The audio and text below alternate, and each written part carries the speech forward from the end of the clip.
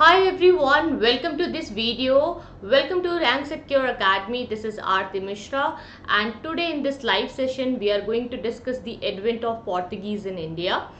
Advent of Europeans में अगर हम देखें तो कई सारे यूरोपियंस हमारे देश में आए जैसे कि पोर्तगीज डच डेनिश इंग्लिश इन सभी के बारे में हम जानेंगे। लेकिन आज का ये लेसन है पोर्तुगीज के बारे में, जो सबसे पहली बार इंडिया आए और सबसे आखिर में इंडिया से गए।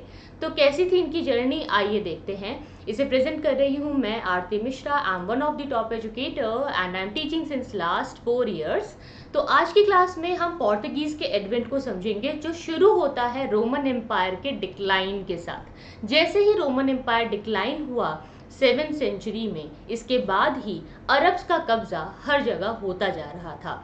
किस तरीके से अरब्स ने पूरे देश में, आप कह सकते पूरे विश्व में, जो है अपने इंपॉर्टेंट लैंड रूट्स पर कब्जा कर लिया था, वो हम जानेंगे। इंपॉर्टेंट लैंड रूट्स के ऊपर जब अरब्स का कब्जा हो गया तो इन मुस्लिम इंटरमीडियरीज के चलते यूरोपियंस को एक नए रास्ते को ढूँढने की ज़रूरत पड़ी। और वो नया रास्ता वास्को डिगामा ने ढूंढ ही निकाला और आखिर वो इंडिया कैलीकट के पोर्ट पर पहुँचे। इसमें उनकी हेल्प की थी अब्दुल माजिद ने, जो कि एक गुजराती पायलट थे।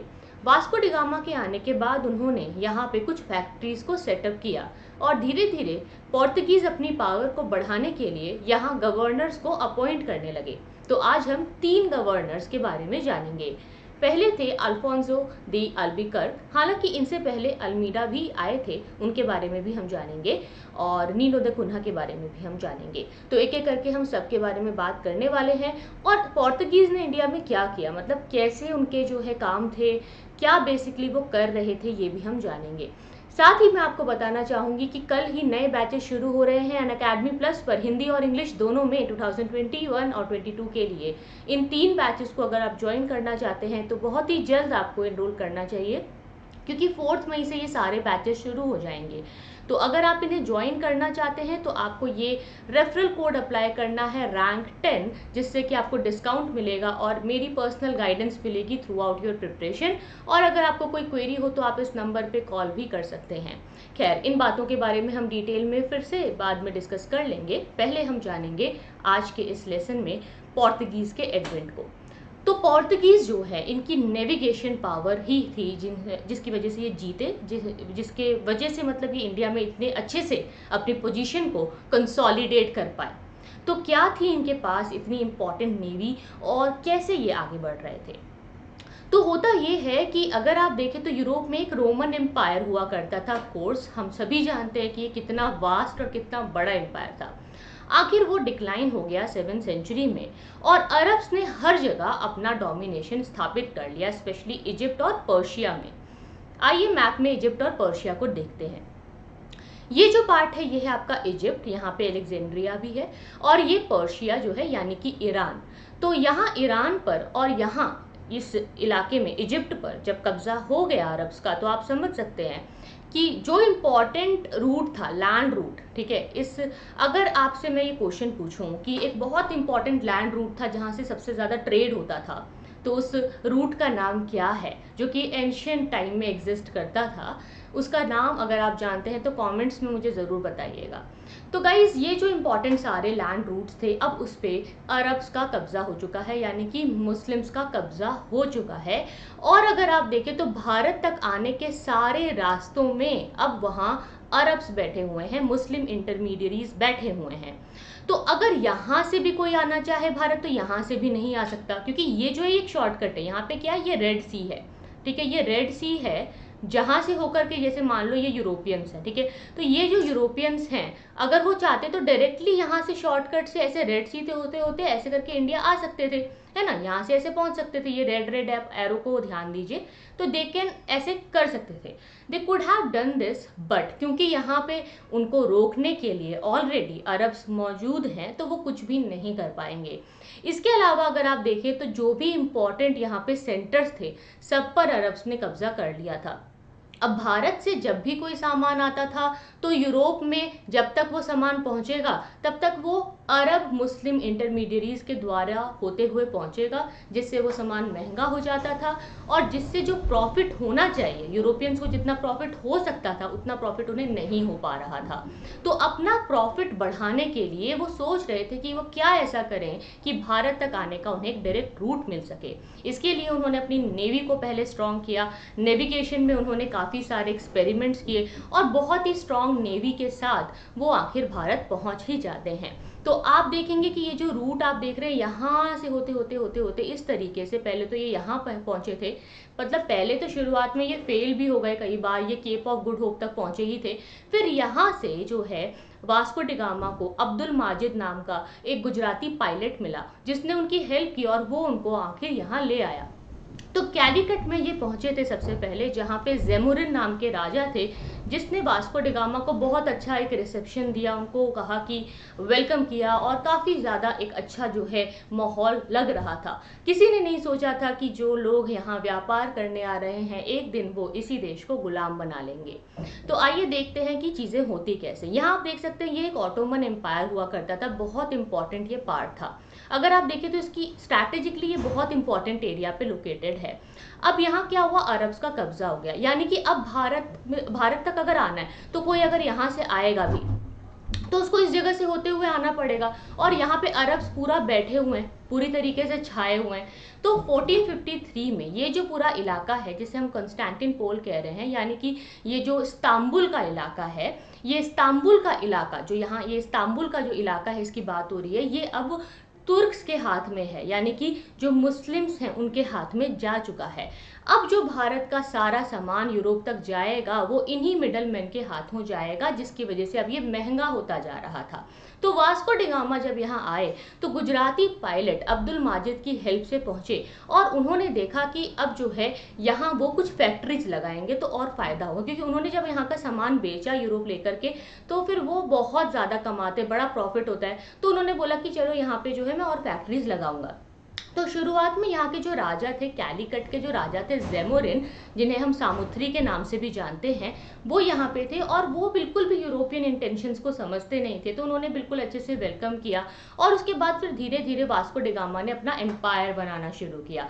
तो इन्होंने जो है बिल्कुल ग्रेजुअली पहले अपनी फैक्ट्री खोली, कैलीकट में, कन्नानूर में और कोची में और इस तरीके से वो बहुत ही इंपॉर्टेंट ट्रेड सेंटर्स पे जो है बैठ जाते हैं। तो आप देख सकते हैं कि यहाँ पे जो इंपॉर्टेंट इलाके हैं, कोची कोचीन, कैलिकट और कन्नानूर ये तीनों की लोकेशन आप इस मैप में देख सकते हैं। यहाँ पे इन्होंने सबसे पहले वास्कोडिगामे ने अपनी फैक्ट्रीज को खोला था। इसके बाद आप देखते हैं कि हमारे यहाँ जो है इंपॉर्टेंट कुछ जो है गवर्नर्स आ जाते हैं। तो सबसे पहले फ्रांसिस्को डी अल्मीडा जो है, इनके बारे में हम जानेंगे। ये एक न्यूली अपॉइंटेड गवर्नर थे, ठीक है? इनके बारे में हम जानेंगे क्योंकि इन्होंने बहुत इंपॉर्टेंट काम किया था। इन्होंने जो है ब्लू वाटर पॉलिसी को शुरू किया था which is the most important policy ठीक है? तो इनके साथ में देखो होता क्या है, ये जो हमारे गवर्नर थे, फ्रांसिस्को डी अल्मीडा इन्होंने किया क्या था? इन्होंने जो मुस्लिम ट्रेड है, उसको डिस्ट्रॉय कर दिया था पूरी तरीके से। तो आप देख सकते हैं, यहाँ पे है ऑर्मुस यहाँ है एडन और यहाँ है मलक्का। इन तीनों इलाकों पर इन्होंने जो है अपनी एक स्ट्रॉन्ग होल्ड पोजीशन बना ली और पोर्तगीज़ को पूरी तरीके से फैला दिया। अब इंडिया तक आने के सारे रास्तों पर पोर्तगीज़ का पूरा कब्जा था। तो 1507 में पोर्तुगीज जो हैं, इनकी एक लड़ाई होती है नेवल बैटल ऑफ़ दीव यहाँ पे आप देख सकते हैं, यहाँ है दीव मैप में। तो दीव की ये बैटल जो थी, इसमें इजिप्ट के जो वहाँ के जो सम्राट थे इजिप्ट के जो राजा थे, उनकी नेवी और गुजरात की जो नेवी थी। गुजरात क्यों? क्योंकि गुजरात ही हमारे देश का एक ऐसा हिस्सा था जहाँ पर पॉलिटिकल स्टेबिलिटी थी इस टाइम पर और कहीं पे भी नहीं थी। तो गुजरात के जो राजा हैं, वो एक तरीके से हेल्प करते हैं इजिप्ट के राजा को कि आइए और हम सब मिल करके पोर्तुगीज को ख़त्म कर देते हैं। इस लड़ाई में जो अल्मीडा का बेटा है, वो मारा गया। अल्मीडा का बेटा जब इसमें मारा गया तो अल्मीडा को बहुत बुरा लगा और अगले ही साल उसने इस चीज़ का बदला लिया और बाकी जो अपने दुश्मन हैं, उनकी पूरी आर्मी को, पूरी उनकी नेवी को ख़त्म कर दिया और नेक्स्ट ईयर उसने रिवेंज लेकर के ब्लू वाटर पॉलिसी को शुरू किया। ब्लू वाटर पॉलिसी बिल्कुल इसके नाम से हम समझ सकते हैं कि जितना भी इंडिया तक आने का सारा समुद्री रास्ता है इंडियन ओशन का पूरा जो पार्ट है, उसके ऊपर कब्जा कर लो ताकि वहाँ से कोई और ना आ सके। इसके बाद फिर हम देखते हैं कि अल्फोंसो डी अल्बीकर्क ने भी बहुत इंपॉर्टेंट काम किया। इन्होंने जो रेड सी का पूरा इलाका है, उसको कैप्चर कर लिया था। ऑर्मोज मलाबार, मलक्का सबको जो है इन्होंने देख लिया था। तो देख सकते हैं आप यहाँ पे ये ऑर्मोज है, ठीक है? ये आपका जो है मलाबार का पूरा एरिया हो गया। ये सारा एरिया जो है कर लिया। और सबसे बड़ी इंपॉर्टेंट बात क्या है इस मानसून मानसून के बारे में जानना यहाँ बहुत ज़रूरी है, क्योंकि यहाँ से यहाँ तक आने के लिए मानसून इज़ समथिंग जो बहुत ही हेल्पफुल है। क्योंकि मानसून अगर है तो बहुत अच्छा नेविगेशन होता है। नेविगेशन में मानसून काफ़ी हेल्पफुल रहता है। तो अब क्या होता है कि पोर्तुगीज धीरे धीरे इंडिया में फैलने लगे। गोवा जो है, ये इनके पास आ चुका था, क्योंकि विजयनगर एम्पायर के डिक्लाइन होने के बाद गोवा बहुत ही आसानी से ये और भी ज़्यादा स्ट्रांगली कैप्चर कर पाएँगे और इसे अपना एक इंपॉर्टेंट सेंटर बना लेंगे। इसके बाद इन्होंने अपने आप को विलेज हेडमैन बना लिया है। तो अल्फोंसो डी अल्बिकर्क जो थे, इन्होंने क्या बोला कि हम यहीं रहेंगे और यहाँ पे एकदम बस जाएँगे, यहीं पे डेवलपमेंट का काम करेंगे, यहीं पे व्यापार करेंगे। भारत को वो पूरी तरीके से अपना चुके हैं। तो यहाँ पे उन्होंने काफ़ी इरीगेशन वर्क करवाए क्रॉप्स नए नए जो है उन्होंने इंट्रोड्यूस किए, जैसे कि काजू की और तंबाकू की खेती यहाँ पे शुरू की। कोकोनट की बेटर प्लांटेशन उन्होंने शुरू की। प्लांटेशन और एग्रीकल्चर में क्या डिफरेंस होता है? एग्रीकल्चर का मतलब होता है जब आप छोटे लेवल पे करते हो, ज़्यादा मशीनें आपको नहीं चाहिए होती हैं। पर प्लांटेशन एक लार्ज स्केल पर होता है मास प्रोडक्शन होता है और एक ही क्रॉप को बहुत दूर दूर तक उगाया जाता है प्लांटेशन में, जिसमें मशीनरी लेबर ज़्यादा एक्सटेंसिव होता है। तो बेटर वेराइटी ऑफ़ कोकोनट इसमें जो प्लांटेशन है, इसकी शुरू की गई थी और कोकोनट के जो छिलके होते हैं, उस छिलके से जो नारियल के जो बाल होते हैं, उसके द्वारा रस्सी बनाने का काम जो है बास्केट्स बनाने का काम और इस प्रकार के हैंडीक्राफ्ट बनाने का काम जो है, ये भी शुरू किया। इसे रिगिंग कॉर्डेज वगैरह कहते हैं। तो ये सब काम इन्होंने शुरू कर दिया था। तो धीरे धीरे ये व्यापार को आगे बढ़ा रहे हैं क्राफ्टमैनशिप को आगे बढ़ा रहे हैं और बहुत अच्छा डेवलपमेंट कर रहे हैं। इसके बाद जो है, सती प्रथा को भी अल्बी कर्क ने बैन किया था। सबसे पहले जो है, वो थे जिन्होंने सती प्रथा को बैन किया था इंडिया में। फिर हमारे जो आखिरी, जो नीनो दे कन्हा है, ये आए। तो नीनो दे कन्हा का नाम क्यों है? क्योंकि इन्होंने क्या किया था? एक बड़ा इंपॉर्टेंट काम किया था। इन्होंने हेडक्वार्टर को शिफ्ट किया था। तो ये जो गवर्नर बने थे तो ये समय था 1529 का। तो इन्होंने क्या किया था? हेडक्वार्टर को कोची से गोवा में शिफ्ट किया था। तो आप देख सकते हो, यहाँ पे लोकेशन ये कोची है, यहाँ ये हमारा गोवा है। तो यहाँ से इन्होंने लोकेशन को शिफ्ट कर दिया है हेडक्वार्टर को शिफ्ट कर दिया है। इसके बाद जो है, ये बंगाल की तरफ़ भी आगे बढ़ रहे थे।